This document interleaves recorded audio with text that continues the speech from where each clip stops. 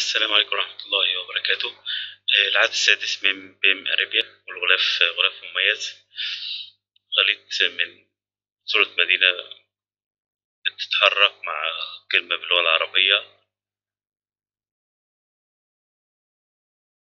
وبنشكر طبعا فريق اللي عمل المجلة. إحنا مش كاتبينهم كلهم بس يعني كاتبين آه، أكتر ناس شاركوا في المراجعة والإعداد الافتتاحية كتبها المهندس أحمد لطفي بيتكلم على القراءة والكتابة والرسم وعلاقتها بنمذجة معلومات البناء.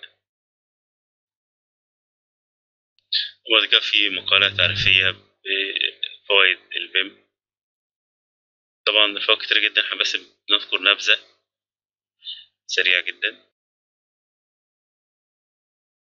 وبعد كده في مهمة مقالة مهمة للمهندس إياد الحاج سعيد هو من الناس المتخصصة جدا في إدارة المشاريع وال BIM وتقدير التكلفة. فهو بيتكلم في الجزء بتاع تقدير التكلفة وحساب الكميات إزاي ال BIM ممكن يفيدني في الموضوع دوت.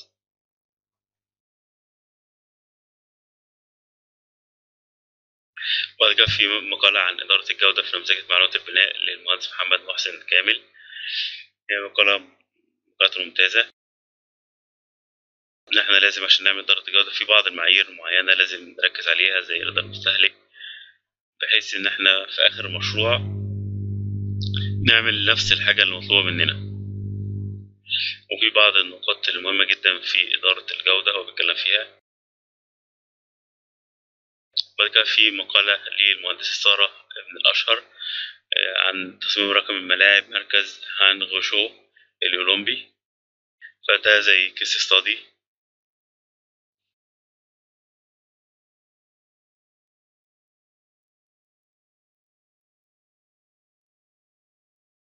وبعد كده مقالة عن ال BIM والبرامج مفتوحة المصدر. برامج مفتوحة المصدر فكرتها إنها بتكون شفرة الكود موجودة لأي حد مبرمج عايز يطور فيها وغالبا بتبقى مجانية أو بسعر رمزي. اللي عملها ستيلمان ستيل ستيلمان اللي هو دوت.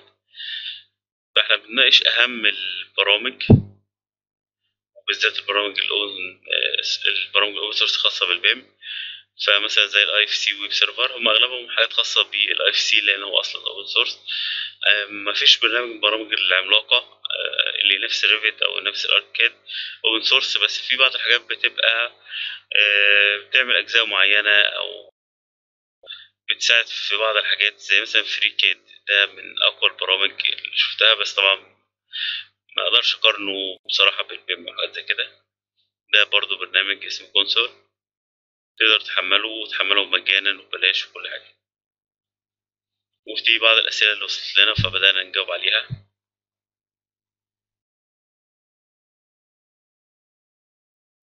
مقالة المهندس عمار توم دي تكملة للمقالة اللي اتنشرت في الجزء الخامس اللي هي تلميحات سريعة كده في موضوع الريفت سهل الشغل.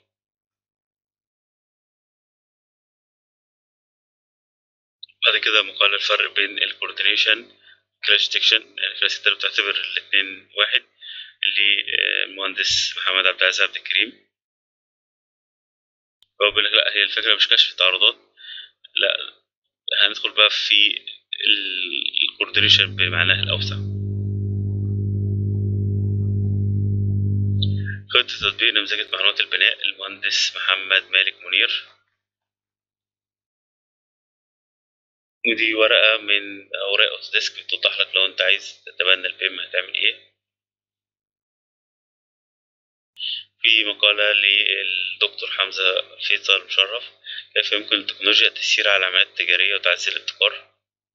هي رسالة الدكتوراه بتاعته في الابتكار في صناعة البناء. وخاتمة بنتمنى إن إحنا نقدم حاجة لوطننا حاجة مفيدة إن شاء الله. آه نبدأ نعرف الناس ببعض. مش فكرة مش فكرة نشر فكرة ال BIM. فكرة إن إحنا نرتقي ونطور نفسنا ونطور آه ونتطور مع بعض بإذن الله. تمام؟ وأي حد عنده مقالة ممكن تفيد يبعتها لنا. وممكن متكونش خاصة بال BIM ممكن تكون بت... بتقلل الفجوة بيننا وبين الغرب إن شاء الله.